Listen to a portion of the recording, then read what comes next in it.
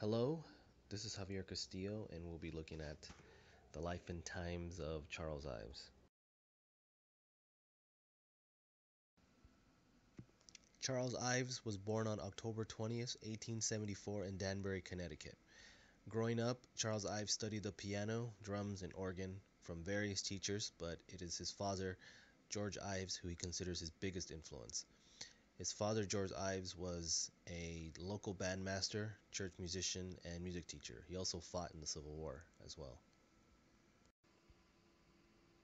At 14 years old, Ives became a professional church organist, a career he would follow for most of his teens and 20s.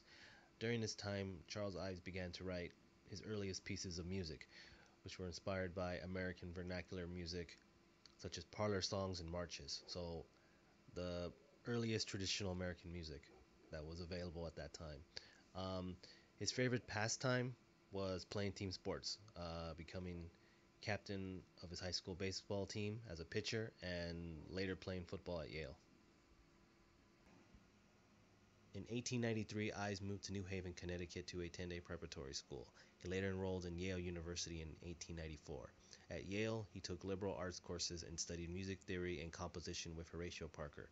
Horatio Parker was a lot like George Ives, in that they were two multi talented musicians. But in contrast, Horatio Parker was a lot more traditional in, the, in his approach to classical music, whereas George Ives was open minded and uh, encouraged in experimentation. So when Charles Ives started studying with Horatio Parker, uh, they would headbutt a lot uh, because their backgrounds were so different.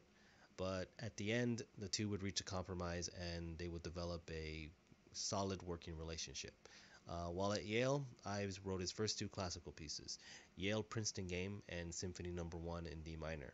These two pieces are very different in styles. Um, Symphony Number no. 1 is written more in a late romantic style that's similar to Dvorak, and Yale Princeton Game uh, captures more of the characteristics that you would find in Charles Ives' music, uh, which is a, a blend of ideas to create something that would sound chaotic, but in a good way. After graduating in 1898, Ives moved to New York where he worked as a church organist. After resigning from his last organ job in 1902, Ives focused on an insurance career, starting as a $15 a week clerk at Mutual Life Insurance. After meeting Julian Myrick, they started their own insurance agency called Ives and Myrick, becoming one of the most successful agencies in the nation. In 1918, Ives published the book Life Insurance with Relation to Inheritance Tax, which would become a classic in the insurance field. He also pioneered the training of agents and the idea of estate planning. He would retire from the insurance agency in 1929 with his company profit earnings at $49 million, which adjusted for inflation would be a lot of money. As a composer, Charles Ives wrote four symphonies, two string quartets, piano trio, four violin sonatas, and 200 songs. Ives was a fluent composer in four distinct styles American vernacular music, which was the popular music uh, coming out of the United States at the time, such as uh, parlor songs and marches, uh, Protestant church music, European classical music, and experimental music.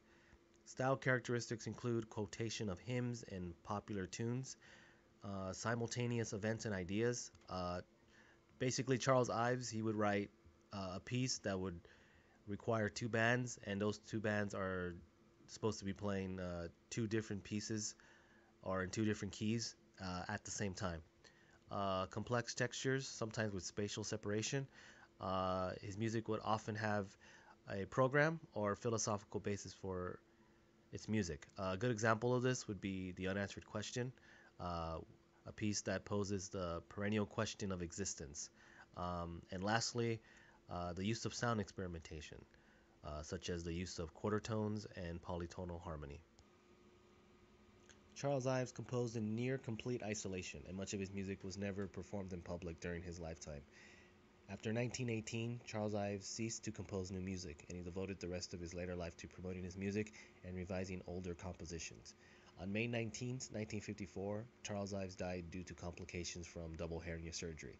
But for his contributions to classical music, he is considered the first American composer, and musicians such as Aaron Copland, and our boy Leonard Bernstein, who consider themselves huge fans of Charles Ives. Uh, they helped to promote his music after his death.